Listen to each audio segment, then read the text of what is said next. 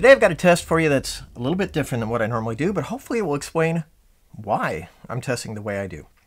Today I'm going to test the exact same round from three different barrel lengths, and you'll see the effect that barrel length can have, and sometimes the substantial effect that barrel length can have on a particular round of ammunition. So, the firearms chosen are all Taurus judges. I've got the circuit judge with an 18-inch barrel. We've got uh, the Raging Judge with a six and a half inch barrel, and we've got the little Public Defender with a two inch barrel.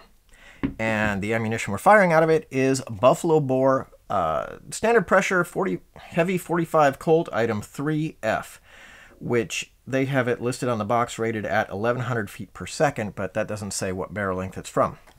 So I'm going to fire this round into some clear ballistic synthetic ballistic gelatin from each of these guns and show you what the resulting bullet looks like.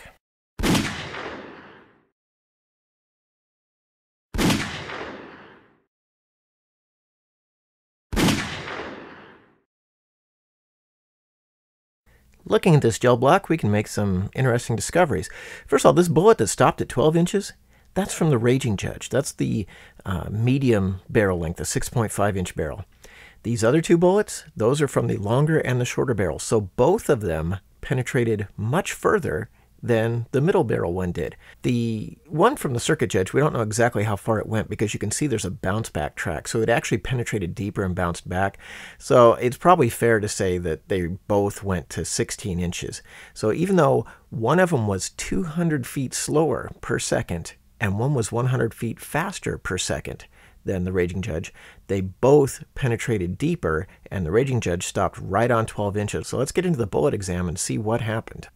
So here are the three different Buffalo Bore bullets from the three different barrel length judges, and they really demonstrate exactly what I was looking for. This one, I don't know what this piece is, but it was in the gel with this bullet.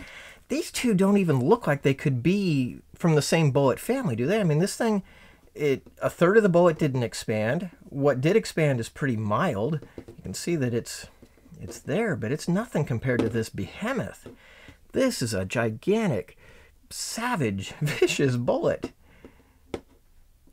And so what we have here, we have the Public Defender delivering 911 feet per second out of its 2-inch barrel. It was just not enough. It didn't get the job done. Now this one penetrated deeply because it didn't expand, so it made a smaller face to the bullet and it, it put up less drag in the gel. So it did penetrate deeply, but you know, you don't want to rely on that. So 911 feet per second. This one was from the Raging Judge, six and a half inch barrel, and it delivered 1,072 feet per second. Now on the box, or on the website, Buffalo Bore rates these at 1100 feet per second. So at 1072, we were obviously right there in the window, uh, exactly where the bullet's going to perform its best. And then this is from the Circuit Judge, 18 and a half inch barrel. And we picked up another 127 feet per second. This was uh, 1199 feet per second. And you can see it's just, it's on the edge of coming apart. It did not expand to a large size. It, it, it's really the smallest portion of it, and then the what the petals that should have expanded out uh, came close to being ripped off. They weren't actually ripped off, but they're they're obviously in pretty poor shape. So, which of these, if you had to bet your life on a bullet performing well, which one would you want to bet on? You know, for me, there's no question. This is the one that performed the best.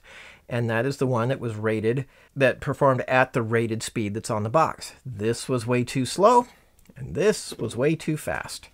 So when you're choosing ammo, you gotta factor in the barrel length of the gun because it makes a big difference in how the ammo performs.